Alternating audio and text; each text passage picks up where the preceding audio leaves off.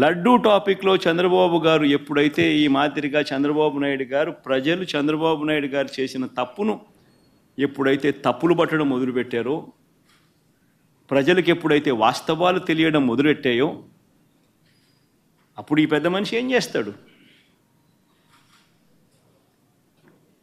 Topic divert చేయడం చేస్తూ ఏమంటాడు?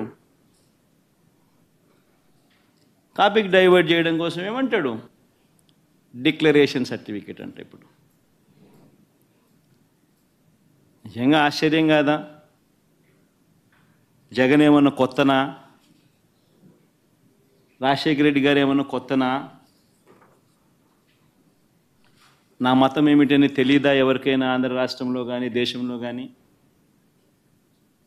నా కులం ఏమిటి అని చెప్పి ఎవరికి తెలియదా రాష్ట్రంలో కానీ దేశంలో కానీ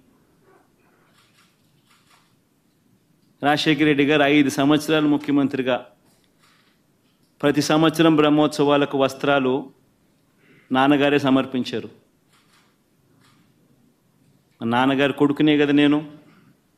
నేను కూడా తిరుపతికి ఎన్నోసార్లు పోయా కదా ఇంతకు ముందు కూడా ముఖ్యమంత్రి కాకమునుపు అంతెందుకు నా పాదయాత్రలో నా పాదయాత్ర మొదలెట్టేటప్పుడు వెంకటేశ్వర స్వామి ఆశీస్సులు తీసుకొని మొదలెట్టా.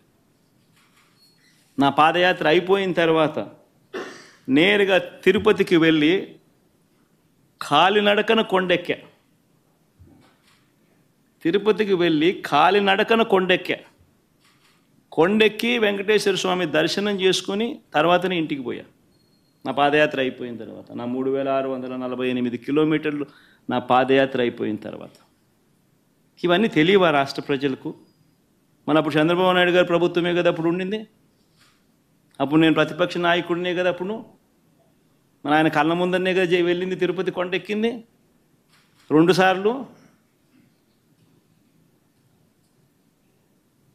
మళ్ళీ దాని తర్వాత నేను ముఖ్యమంత్రి అయినా.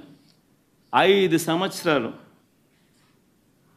తిరుపతి బ్రహ్మోత్సవాలకు దగ్గరుండి వస్త్రాలు నేనే సమర్పించా.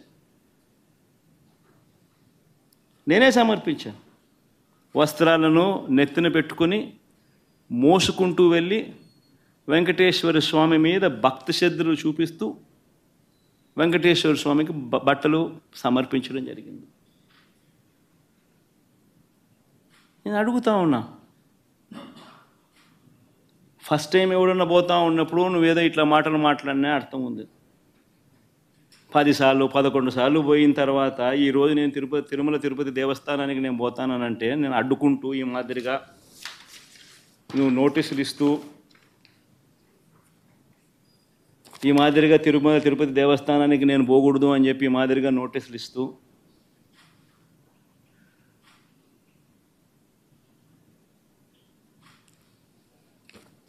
ఈ మాదిరిగా మా ఎమ్మెల్యేలకు మా కార్పొరేటర్లకు అందరికీ కూడా ఈ మాదిరిగా నోటీసులు పంపుతూ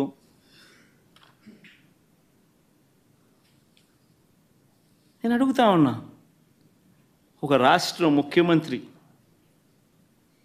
ఇంకా ఐదు సంవత్సరాలు బ్రహ్మోత్సవాలలో తిరుమల తిరుపతి దేవస్థానానికి వస్త్రాలు సమర్పించిన నేను. ఇన్నిసార్లు తిరుమల తిరుపతి దేవస్థానానికి వెళ్ళిన నేను. ఈరోజు తిరుమల తిరుపతి దేవస్థానానికి నేను రాకూడదట పోకూడదట.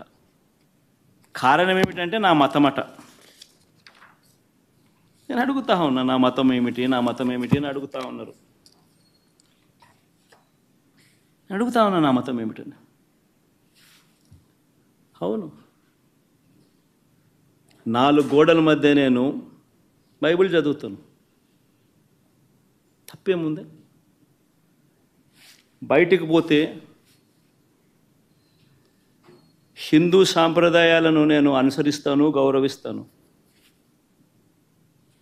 బయటికి పోతే ఇస్లాంను అనుసరిస్తాను గౌరవిస్తాను.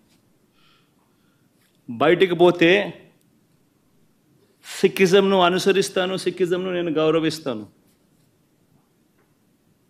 నా మతం ఏమిటని అడుగుతా ఉన్నారు? నా మతం మానవత్వం. డిక్లరేషన్లో రాసుకుంటానేమో రాసుకుంటా.